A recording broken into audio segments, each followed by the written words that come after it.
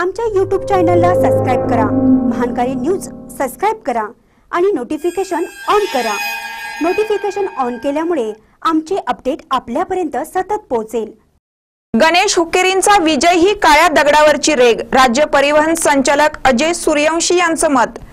चिकोडी सदलगा मतदारसंघातून आमदार गणेश हुकेरी यांचा विजय ही काळ्या दगडावरची रेग आहे असं प्रतिपादन कर्नाटक राज्य परिवहन महा- महामंडळाचे संचालक अजय सूर्यवंशी यांनी केले.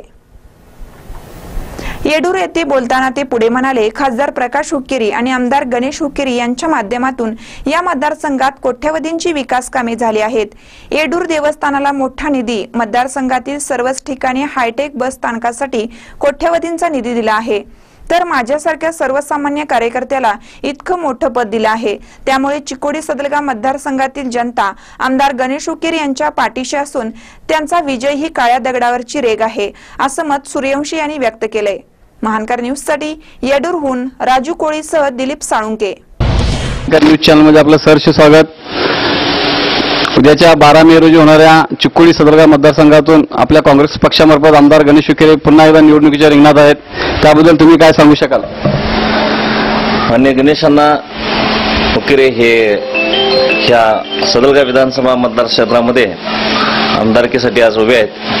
त्यांच्या साडेतीन वर्षाचा कार्यकाळ म्हणजे तीन तीन वर्ष आठ महिन्याचा कार्यकाळ. आणि मान्य प्रकाश अण्णांचं तीस वर्षाचं जे विकास कामाचं एक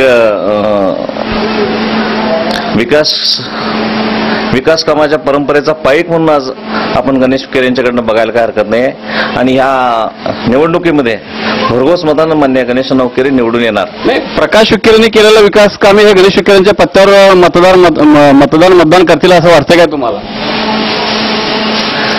प्रकाश नौकेरे ह्यांनी जे विकास काम केलेलं आहे त्या विकास कामाचा वारसदार म्हणूनच गणेश उकेरे आहेत. मागच्या साडेतीन वर्षाच्या अगोदर पोटनिवडणूक होती म्हणून मतदारांनी त्यांना गणेश विखेरांना स्वीकारलं. आता का स्वीकारलं असं तुम्हाला वाटतंय? गणेश गणेशांना उकिरी हे जवळजवळ आज पंधरा वर्ष झालं ह्या समाजसेवेमध्ये आहेत राजकारणामध्ये आहेत वेगवेगळी पदं त्यांनी सी डीसीसी बँकेचं संचालक पद हलसिद्धनाथ शुगरचं संचालक पद जिल्हा परिषद सदस्य सगळ्या स्तरातनं ते वर आलेले आहेत. आणि त्यांच्या वडिलांचा जो वारसा आहे त्या वारशाच्या निमित्तानं त्यांना विकास काम कसं करायचं असतंय याचं बारीक सारीक अभ्यास त्यांचा झालेला आहे. आणि त्या ह्याच्यातनं त्यांनी जवळजवळ साडेतीन वर्षामध्ये भरपूर विकास कामं केलेली आहेत. वडिलांचं त्यांना फार मोठं मार्गदर्शन लाभलेलं आहे. त्यामुळं ह्यामध्ये ते नक्की यशस्वी होतील आणि लोकांच्या मध्ये वातावरण अं, गणेशांनांच्या बद्दल फार चांगलं आहे. येड्डूर येथील देवस्थान वीर बद्रोश या साडेतीन वर्षामध्ये आमदार गणेश विखेरे या देवस्थानसाठी काय असा मोठा निधी आणलाय काय? कुठलं काम केलं काय? देवस्थानसाठी. जो निधी आज केडूर देवस्थानचा जो विषय आहे त्यामध्ये माननीय प्रकाशअण्णा किरे हे धर्मदाय खात्याचे मंत्री होते. त्यावेळेला त्यांनी येडूर देवस्थानसाठी पाच कोटीचा निधी द्यायची तयारी दाखवली होती. परंतु येडूर देवस्थानचा विषय असा आहे की त्यामध्ये जे काही काही इथं घटना घडलेल्या आहेत किंवा जे प्रॉब्लेम्स आहेत त्या प्रॉब्लेमच्या प्रॉब्लेममुळं माननीय स्वामीजींनी आणि देवस्थानच्या भक्तांनी कुठलीही सरकारी निधी न घेता सर्व कामं आजपर्यंत केलेली आहेत. त्यामुळं देवस्थानचा देवस्थानसाठी पर्टिक्युलर ह्या देवस्थानलाच निधी हा सोडला. तर देवस्थानच्या आजूबाजूचा सगळा विकास हा मान्य गणेशानंद प्रकाशानंद केलेला आहे. देवस्थान सुद्धा त्या देवस्थानला सुद्धा निधी द्यायची त्यांची तयारी होती. परंतु तो स्वीकारण्यात आलेला नाही आहे आज देवस्थानला येडूर देवस्थान आहे. येडूर देवस्थानला येण्याचा जो येडूर मांजरी रोड आहे हा मांजरी रोड देवस्थानला जे तिथं आज स्वामीजींच्या वतीनं भव्य प्रवेशद्वार उभारण्याचं काम चालू आहे त्या प्रवेशद्वारला शोभेल असा रस्ता सुद्धा असावा असं एक प्रकाशांना उकिरेनं वाटत होतं. त्यामुळं गणेशांना उकिरेने तो जवळजवळ चार कोटीमध्ये आज डबल रस्ता के- केलेला आहे आणि येडूरपासून मांजरीपर्यंत लाईटची व्यवस्था केलेली आहे. येडूरमध्ये बसची व्यवस्था केलेली आहे. प्रत्येक अर्धा तासाला येडूरमध्ये आज बसची व्यवस्था आहे. देवस्थानच्या आजूबाजूच्या परिसरामध्ये पेवर्सची व्यवस्था केलेली आहे. जलशुद्धीकरण घटक केले आहेत. सर्व रस्ते चकाचक चांगले केले आहेत. देवस्थानच्या दृष्टीने इथं यात्री निवासाचं काम केलेलं आहे. त्याचप्रमाणे धार्मिक कार्य करण्यासाठी कल्याण मंडप दोन कल्याण मंडप आज गणेशानंद प्रकाशांनी उभा केलेला आहेत. त्यामुळे येडूरचा येडूरच्या देवस्थानच्या विकासाच्या दृष्टीनं फार मोठं योगदान त्यांनी लाखोंची उपस्थिती ही जी मतदार हे झाली ह्याच्यातल्या दोन गोष्टी मी तुम्हाला सांगू शकतो.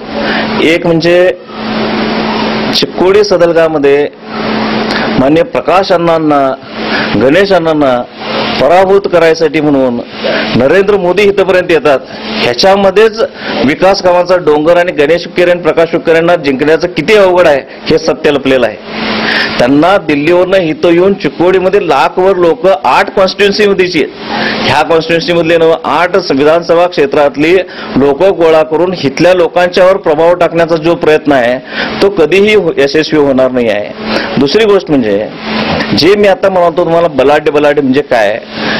त्याची पैशाची चुणूक कालच्या म- सभेमध्ये झाली आहे. जी तुम्ही तिथं आज तुम्ही पत्रकार आहे गावागावामध्ये चौकशी करू शकता. जे लोक गाडीमध्ये बसले त्यांना काय आमिष दाखवण्यात आलं काय देऊन गाडीमध्ये बसवलं त्यांना किती भत्ता मिळाला किती पगार मिळाला हे सर्वश्रुत आहे. आज तुम्ही सर्वसामान्यांना विचारलं तर लक्षात येते.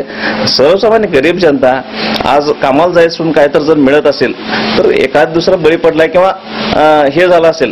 परंतु ही गर्दी ह्या गर्दीवर कुठलं तर हितलं तुम्ही लेखाजोखा करत असला तर यामध्ये साफ चुकणार आहे. असं स्पष्ट मत आहे की त्या त्या निप्पाणी बस स्थानकासाठी आम्ही निधी केला आहे कोट्यावधी निधी आम्ही आणलाय. पण तुमचं काय मत आहे त्याबद्दल?